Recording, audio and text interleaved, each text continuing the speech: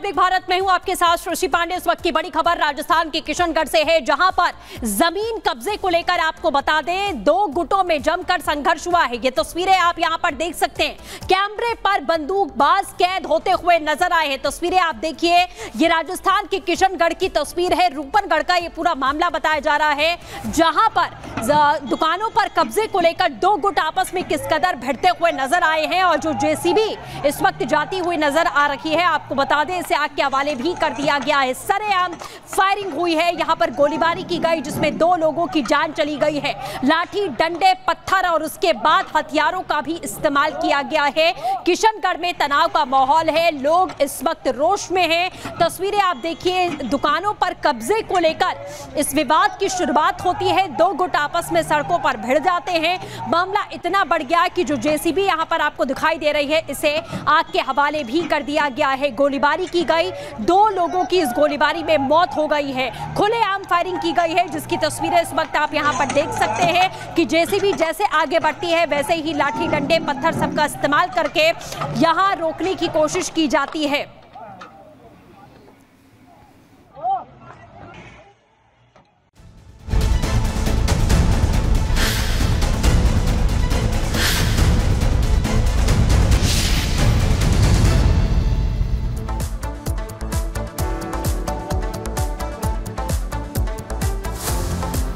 उधर बात करते हैं आखिर किस तरीके से देश में रेल के खिलाफ उसे डीरेल करने की कोशिश लगातार जारी और एक बार फिर से कानपुर में प्रेमपुर के स्टेशन के पास आखिर कैसे सिलेंडर के जरिए ट्रेन को डीरेल करने की यहां पर कोशिश की गई है दरअसल आज सुबह छह बजे उस वक्त यह बड़ा हादसा होने से टल गया जब ट्रेन के ड्राइवर ने इमरजेंसी ब्रेक उस वक्त लगाए जब लूप लाइन पर एक सिलेंडर ड्राइवर ने देखा ट्रेन ड्राइवर ने इमरजेंसी ब्रेक अप्लाई किए जिसकी वजह से एक बड़ा हादसा होने से ट्रेन के डिरेल का आज बहुत जो है वो बच सका लेकिन पिछले कुछ दिनों में लगातार इस तरीके की जो घटनाएं हैं ट्रेन को डीरेल करने की वो लगातार सामने आ रही हैं कई बड़े खुलासे भी हो रहे हैं और दूसरी तरफ जांच इस पूरे प्रकरण को लेकर हो रही है वहीं कानपुर की अगर हम सिर्फ बात करें तो पिछले चौदह दिनों में ये दूसरी बार कोशिश है कि ट्रेन को डिरेल करने की यह साजिश जो है वो रची गई है लेकिन सवाल यह है कि आखिर कौन है जो लगातार ट्रेन के खिलाफ ट्रेन को डिरेल कर हादसों को अंजाम देने की कोशिश कर रहा है क्या इसके पीछे एक बड़ी साजिश रची जा रही है और सबसे बड़ी बात यह कि बार बार इस तरीके की घटनाएं सामने आना आखिर किस ओर इशारा कर रहा है दिखाते हैं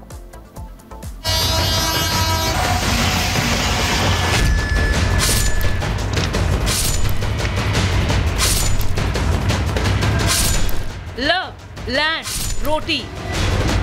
जूस और मसाज के बाद रेल जिहाद की खबर ने कोहराम मचा रखा कभी पत्थर तो कभी सिलेंडर कभी पेट्रोल तो कभी कुछ और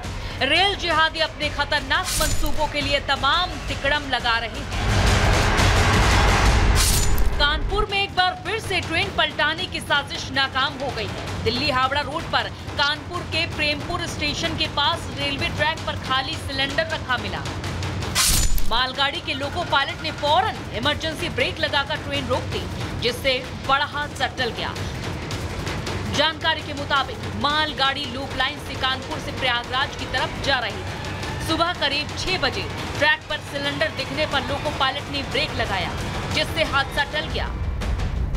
सिलेंडर छोटे साइज में पाँच किलोग्राम का था घटना की सूचना मिलने के बाद पुलिस और रेलवे के अधिकारी मौके पर पहुंचे मामले की जांच जारी है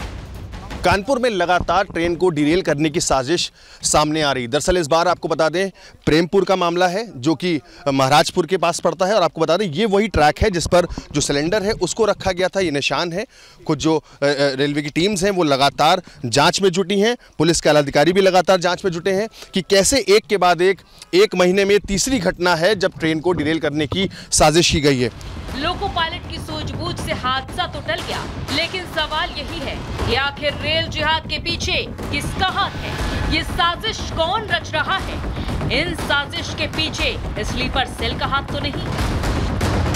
आपको बता दें कि पिछले महीने ही कानपुर में साबरमती ट्रेन रात के समय डिरेल हो गई थी देश में ट्रेन को बेपटरी करने की ये सत्तावन दिन में बाईसवीं कोशिश है इससे पहले 20 सितंबर को सूरत में रेलवे ट्रैक से छेड़छाड़ की गई थी इस मामले की जांच एनआईए को सौंपी गई 20 सितंबर को ही प्रयागराज में रेलवे ट्रैक पर करीब तीन किलो का पत्थर मिला इसके अलावा भी कई शहरों में रेल जिहाद की नाकाम कोशिश की गई है कुल मिलाकर ऐसे मामले सामने आए हैं जो बड़ी साजिश की तरफ इशारा करते हैं bureau report Republic Bharat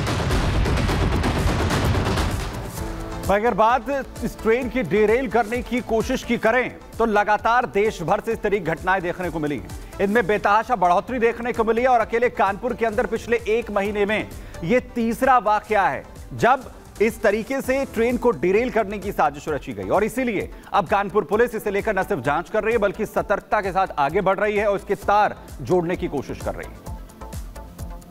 Kanpur में लगातार एक के बाद एक तीसरी घटना सामने आई जहां ट्रेन को डिरेल करने की साजिश हुई है हमारे साथ इस वक्त मौजूद है कानपुर के police commissioner Akhil Kumar sir लगातार तीसरी घटना है क्या लगता है आतंकियों को कोई सॉफ्ट टारगेट है कानपुर की यहीं पर इस तरह घटना को अंजाम देने की कोशिश देखिए ये हम लोग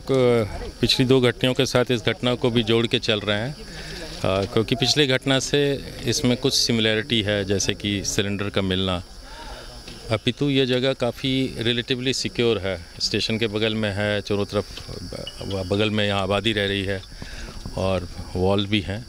तो लोकेशन के हिसाब से बहुत स्ट्रैटेजिक या किसी को अपॉर्चुनिटी यहाँ से बेहतर बाहर मिल सकती थी यहाँ क्यों चुना है वो एक विषय है परंतु घटना में यह प्रयास अवश्य दिख रहा है जिस प्रकार से सिलेंडर रखी थी कि ट्रेन को कुछ हार्म हो उससे ड्रिलमेंट होगा आई हैव डाउट क्योंकि बहुत हल्का सिलेंडर खाली था और उस बड़े ट्रेन के सामने उड़ जाता वो परंतु जिसको जो समझ आया वो करने की कोशिश की और हम तीनों घटनाओं को एक कड़ी में ही लेकर हम अपनी विवेचना और जांच में कर रहे हैं सर पूर्व की दोनों घटनाओं में भी पुलिस के हाथ अभी तक खाली हैं कोई भी ऐसे कॉन्क्रीट एविडेंस नहीं मिले हैं या कोई चीज़ें निकल कर सामने नहीं आई तो कैसे देखते हैं कि इस पर किस तरह से वर्कआउट करें देखिए ये घटनाएँ कोई नॉर्मल घटनाएँ नहीं होती हैं इसमें बहुत सारे वाइडर एंगल्स पे काम करना पड़ता है कोई पुरानी क्रिमिनल हिस्ट्री या क्रिमिनल नॉलेज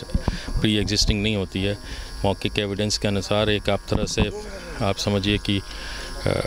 निडल खोजना है रेत के भंडार में वो लगातार छान रहे हम लोग कर रहे हैं और इस नई घटना को भी हम लोग अपने विवेचना में जोड़ेंगे मुझे उम्मीद है कि कुछ ना कुछ मेहनत करते रहेंगे तो सफलता मिलेगी सर फिलहाल आप स्पॉट पे हैं अब तक क्या समझ में आ रहा है यहाँ पर क्या कुछ लोगों को पूछताछ के लिए भी उठाया गया या सीसीटीवी खंगाले गए ये सब तो प्रोसेस का पार्ट है ही हम लोग आसपास जो संदिग्ध हैं जो सी हैं जो लोग यहाँ आज सुबह से कल शाम तक परसों तक जो देखे गए हैं या कोई संदिग्ध लोग रहेंगे उनसे पूछताछ जो हमारी प्रोसीजर है उसके तहत की जाएगी सर डीडीपी सर के आदेश से ट्रैक पर बराबर पेट्रोलिंग होगी क्या लगता है कहीं ना कहीं चूक है देखिए ये जो ये बताया कि ये जो स्टेशन एरिया के अंदर का एरिया है यहाँ पेट्रोलिंग नहीं होती है है ना बिकॉज़ ये ऑलरेडी सिक्योर्ड एरिया होता है पेट्रोलिंग मिड सेक्शंस में होती हैं और वैसे भी इतना ह्यूज एरिया है उसको सेंट परसेंट आप पेट्रोलिंग करके सिक्योर कर पाएंगे संभव नहीं है इसमें स्ट्रैटेजिक पेट्रोलिंग करते हैं टाइमिंग के हिसाब से एरिया के हिसाब से परंतु वो एक part of our prevention strategy होती है परंतु आप ये समझिए कि उसके कारण फुल प्रूफ है और पेट्रोलिंग उसको रोक पाएगी तो वो भी कहना मैं बोलूँगा मुश्किल होगा तो इस कानपुर ही क्यों टारगेट किया जा रहा है हम पूर्व में देखने लगातार ऐसा नहीं मैं इस पर टिप्पणी नहीं करूँगा कि कानपुर ही टारगेट किया अभी ये जब तक हम लोग किसी निष्कर्ष पे निकल सकते इस कैन बी एनीथिंग मैंने कहा कि कुछ भी ranging from some small adventure mischief sabotage और कोई भी एंगल हो सकता है पहले हम लोग जो भी है क्या ये कॉमन थ्रेड है या नहीं है है तो कौन लोग हैं क्या है वो पकड़े जाएंगे तभी कुछ पता लगेगा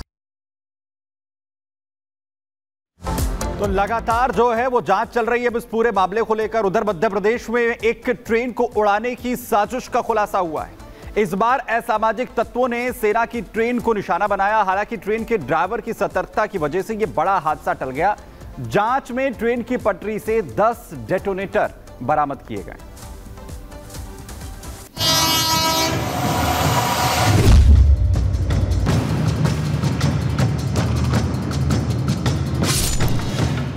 सेना की स्पेशल ट्रेन उड़ाने की बड़ी साजिश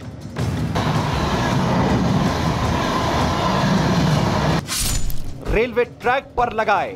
10 डेटोनेटर धमाकों की आवाज सुन ड्राइवर के उड़े होश महाराष्ट्र उत्तर प्रदेश और राजस्थान के बाद अब मध्य प्रदेश में भी ट्रेन को नुकसान पहुंचाने की साजिश की गई हालांकि समय रहते बड़ा हादसा टाल दिया गया घटना बुरहानपुर के साग फाटा की है यहां जैसे ही ट्रेन डेटोनेटर के ऊपर से होकर गुजरी धमाके शुरू हो गए इसे ट्रेन का ड्राइवर सचेत हो गया और उसने तुरंत स्टेशन मास्टर को सूचित किया जिसे एक बड़ा ट्रेन हादसा होते होते टल गया सूत्रों के मुताबिक इस वारदात को अंजाम देने के लिए 18 सितंबर को रेल की पटरी पर 10 डेटोनेटर लगाए गए थे घटना सामने आने के बाद से ही एटीएस और एनआईए सहित अन्य एजेंसियों के साथ रेलवे और लोकल पुलिस ने मामले की जांच शुरू कर दी है क्योंकि इससे पहले भी मध्य प्रदेश उत्तर प्रदेश और बिहार में ट्रेन पलटाने की साजिशों का खुलासा हो चुका है इन सभी मामलों में आतंकी कनेक्शन भी सामने आए थे ऐसे में केंद्रीय एजेंसियों से लेकर लोकल पुलिस तक इस मामले को हल्के में नहीं ले रही इस बार आशंका यही जताई जा रही है कि साजिश के पीछे किसी आतंकी गिरोह के स्लीपर सेल का हाथ हो सकता है क्योंकि यह मामला सेना से जुड़ा है और इसीलिए मामले की जांच में पूरी गोपनीयता बरती जा रही है यहां तक कि जांच से जुड़े अधिकारी भी किसी तरह का अपडेट मीडिया के सामने शेयर करने से परहेज कर रहे हैं रेलवे के अधिकारियों के मुताबिक यह हादसा 18 सितंबर को जम्मू कश्मीर से कर्नाटक जा रही आर्मी की स्पेशल ट्रेन के साथ हुआ कुछ संदिग्धों को हिरासत में लेकर पूछताछ जारी है हाथ से अनेक लेकिन टारगेट एक मतलब साफ है कि रेल के बहाने सरकार पर निशाना है ब्यूरो रिपोर्ट रिपब्लिक भारत